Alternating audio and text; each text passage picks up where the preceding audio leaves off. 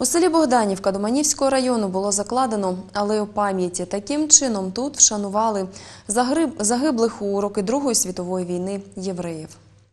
На цьому місці у роки Другої світової війни нацистськими окупантами було розстріляно понад 54 тисячі євреїв. Згодом балку біля села Богданівка Доманівського району назвуть другим Бабиним Яром. Мітя Биков – громадянин США, але народився в Одесі. На момент початку розстрілів євреїв у Богданівці йому було півтора роки. Хлопчика разом з родиною привезли до Богданівки пройти дорогою на небо. Так її називали окупанти. На этом же месте, где стою и сейчас, мы стояли в очереди к смерти.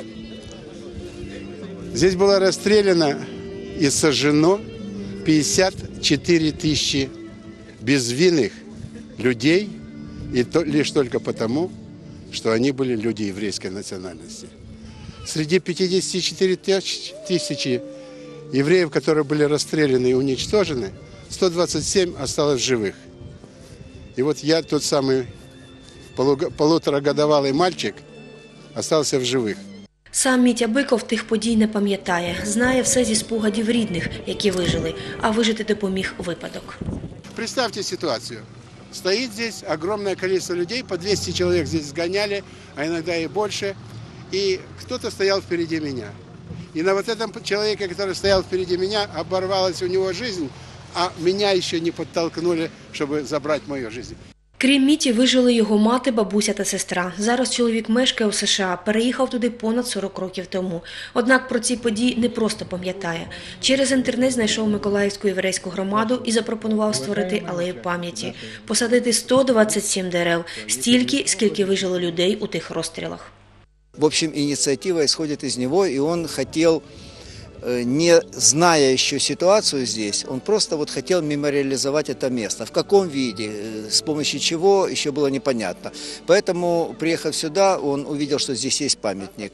Ну, скажем так, достаточно скромный для такой гигантской трагедии, но он все-таки остановился на том, что трогать его нельзя.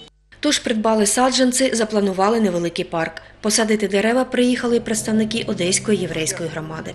месяц октябрь – это время, это месяц, когда в 1941 году, 16 октября, румынские фашисты вошли в город Одессу, и, Одесса стала столицей так называемой Транснистрии. Это территория, которая объединила Одесскую, Николаевскую и Винницкую области. Єврейське питання на цій території вирішили швидко, а згодом на це місце для знищення стали звозити євреїв з Румунії та Молдови. За загиблими молились цього дня. Называется это молитва Кадиш. Это короткая молитва. Изгадал ואיזקדש שמי רבו ביולמו דברו חירוסי וימליך מלכוסי Після покладання квітів учасники заходу посадили дерева. 127 ясенів саджали і колишні в'язані концтаборів, і учні Богданівської школи, які будуть доглядати за алеєю. Кожен намагався кинути хоча б лопатку землі, долучитись до пам'ятного заходу.